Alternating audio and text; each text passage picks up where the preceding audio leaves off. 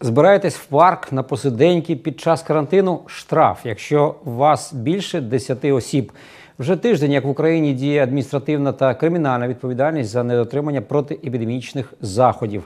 Сума штрафу немала від 17 до 34 тисяч гривень. Чи контролюють поліцейські карантинні вулиці Луцька? Далі у сюжеті.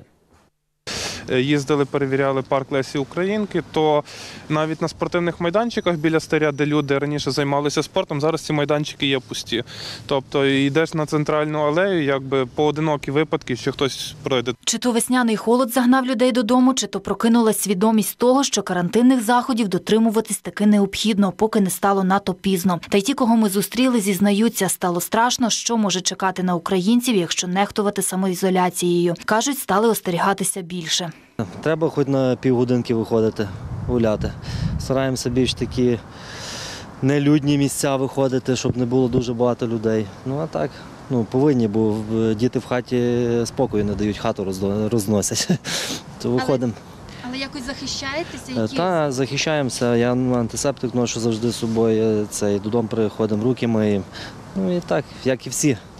Помітно поменшало не лише людей в парках Луцька та на вулицях міста, а й дзвінків у поліцію про порушення протиепідемічних заходів. В перші дні дуже багато викликів було на рахунок е, порушення е, того, що заклади порушують режими е, роботи, що в магазинах перебуває забагато людей. Також викликають люди про е, масові скупчення людей. Було що там в одному місці знаходиться біля е, там в холі магазину понад 10 осіб.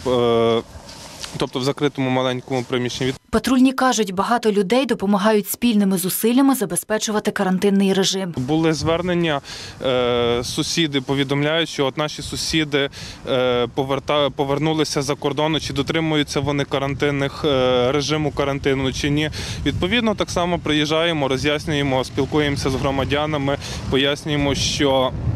Е, Зараз ситуація карантин. Якщо ви приїхали за кордону, будь ласка, утримайтеся е, якомога більше від контакту з іншими людьми, тобто цей кризовий період перебути. Реагують лучани на застереження правоохоронців із розумінням.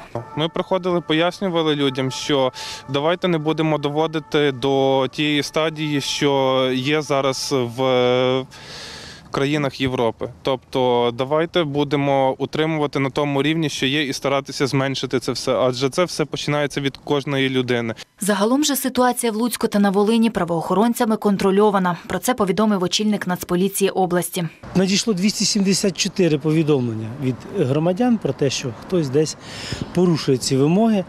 Е, При перевірці в основному проводимо роз'яснювальну роботу. Люди нас розуміють, коли ми приїжджаємо, і реагують на зауваження, які висловлюють. Там, де не реагують, складаємо протоколи. Складено зараз е, з початку е, карантинних мероприємств 36 адміністративних протоколів. Втім, Юрій Крошко переконаний, найкращий контроль це самоконтроль кожної людини.